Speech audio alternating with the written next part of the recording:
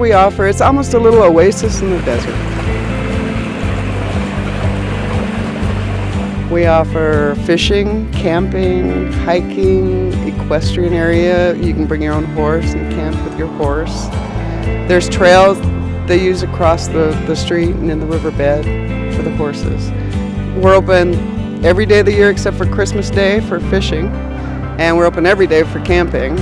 Yeah, we're open um, longer hours in the summertime and a little bit shorter hours in the wintertime every day. I don't think there's been one day when there hasn't been one fisherman, and I don't care what the weather is. You know, they, it's their day to get away. They're going to go fishing. April through October, we stock uh, catfish, and then October to April is trout. And that's only because of the temperatures of our waters. They're warmer in the summer, and that supports the catfish. And, and in the wintertime, they're colder, and the trout do really well. We get our trout from uh, hatchery in Northern California it's Mount Lassen trout, and they always give us outstanding trout. We get our, our uh, catfish come from Bakersfield, superior catfish. We stock every week, once a week, usually a thousand pounds of either catfish in the summer or trout in the winter. So there's always that little bit of time where they overlap so you can catch both, but as it gets more into the season, you'll catch one or the other. The lake is roughly seven surface acres or about a mile around.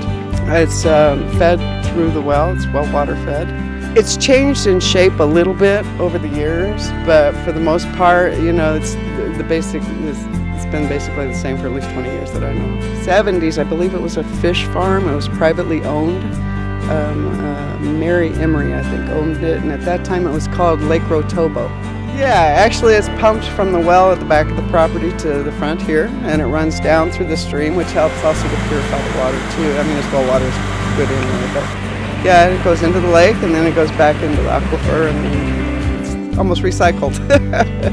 we have camping every day of the year. Prices are about $35, start at $35 a night. We have water and electrical sites. We have showers and flush toilets in the campground. We don't have a dump station and no um, cable television. We have night fishing during the summertime, and that goes, uh, it's two sessions of fishing every day, 6 in the morning until 5 in the afternoon is the day session, and then 1 in the afternoon till 10 o'clock at night is the night session. For catfish, early in the morning, okay, and then it kind of gets a little low in the afternoon, and then it picks up once the sun goes down. Trout is mostly day fishing, morning and a little bit in the afternoon. They love the park itself because it's shady and, and grass and it's tranquil because of the stream that runs through it, and the kids they like to put their toes in the water and you know it's got a nice playground. It's a safe clean park. People love to come here and that's what they like about the park itself. Animals are more than welcome as long as they keep them on a leash and pick up after them yeah, you don't really realize it from the road, but once you come in and you actually see the park itself, you're going, wow, how come I never knew this was here? I've had people say, I've lived here for 10 years and didn't know this place existed.